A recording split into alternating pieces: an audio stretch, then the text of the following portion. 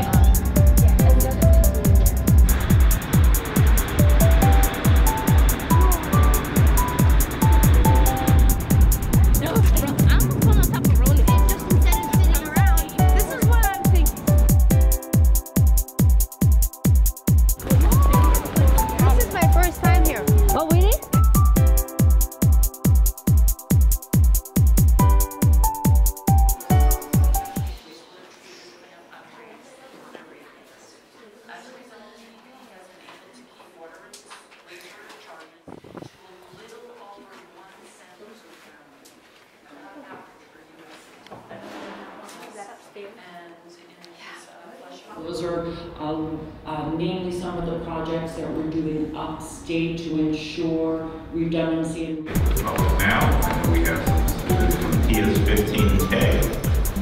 Um, Angelina Sanchez, strong lead. Ronan Latif, the future, Kayla Delgado. Hello, Acting Chair Richards, committee members and staff. My name is Ronan Battis. Caleb Delgado. Angelina Sanchez. And we are from PS15 Patrick F. Daly School in Red Hook, Brooklyn, representing the fifth grade. Thank you for this opportunity to speak. We have been learning about plastic street litter that becomes dangerous marine pollution and how it gets there. We collected street litter and data from our streets in Red Hook and from a beach at a Jamaica Bay wildlife refuge.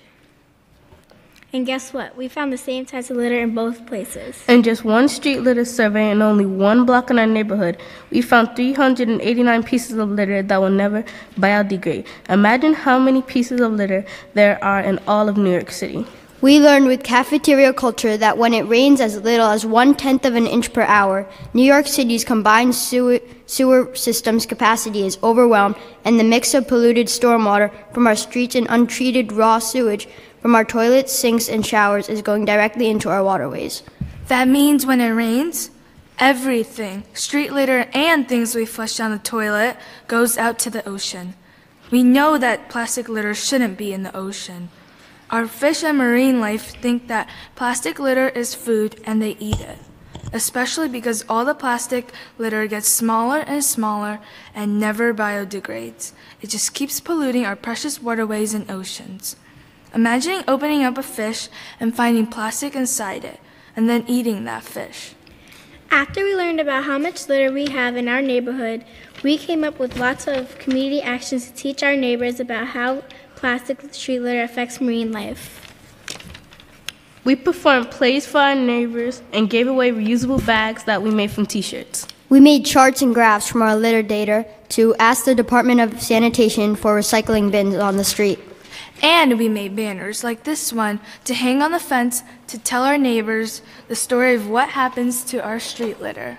And guess what? It worked. We know because we compared the data in our last street litter survey, the litter was reduced by two thirds. First, we want to thank New York City for all that they have done already to improve the city's wastewater management system. But this is not enough. We really want the city to continue to improve the combined sewer overflow system.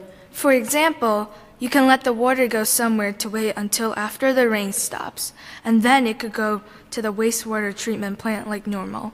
Or the storm drains on the street could be better designed, make the bars smaller, and block the litter from going in. And why not paint a message right on the drain of the curb? We would love to have permission to make storm drain art in our neighborhood in Red Hook. Why can't we?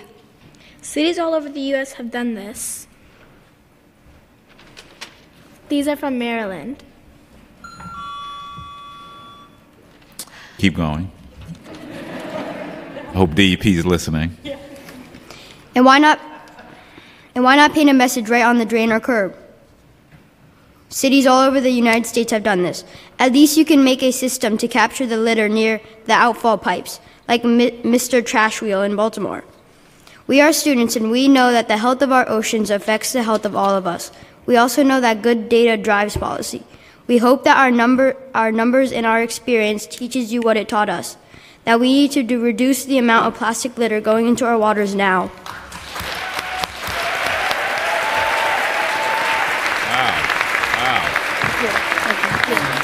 ask one question or two. Uh, and I also want to recommend that DEP hires uh, some of these individuals because they actually know what they're doing. I think they're the key to ensuring that uh, we correct this issue. Should we impose a five cent bag fee, plastic bag fee, in New York City? Or should we ban plastic bags? I just wanted to hear anyone's recommendation. Hope the state is listening today. You gave away reusable bags, right? What's the importance of reusable bags? Reusable bags are important because then you could reuse them and they won't go in our oceans and they could like fly out garbage cans and go into sewers. Okay. If we have the five cent bag fee, then people wouldn't want to use um, plastic bags anymore. They would have their own reusable bags, and, and um, the plastic bags wouldn't go into the ocean. So maybe, like, I think that's a better idea. Great. Well, I want to thank all of you for coming out and your work uh, and uh, ensuring that we're educated and that the public is educated. And I would love to, I know the chair is not here, but we would love to see your recommendations in writing so that we can incorporate it in our conversations with DEP as well. And maybe DEP should hold a hearing with you all as well. Uh, that's a good recommendation. So uh, thank you all. Thank you for coming out and exercising democracy. Thank you.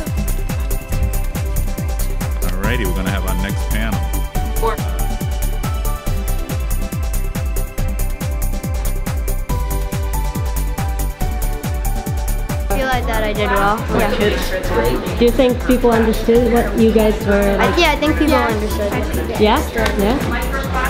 We did good. good. I think they did a wonderful job.